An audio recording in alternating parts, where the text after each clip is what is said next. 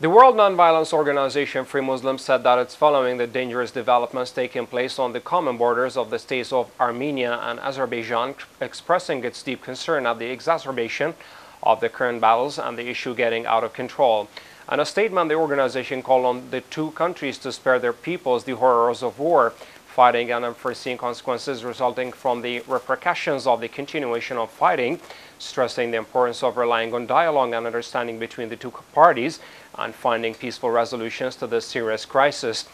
The organization drew the attention of the leaders of the two countries to pay attention to the fate of the countries that fought wars in the past and reflect on the fate other conditions on the social, economic and environmental levels, uh, the consequences of the rush and the absence of reason in dealing with similar crises, especially since blood and damage are costing all parties involved in any military operations.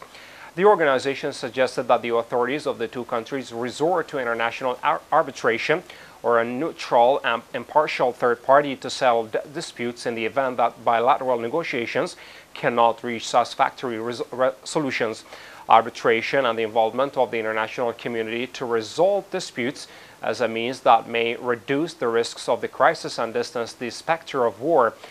fighting and costly conflicts.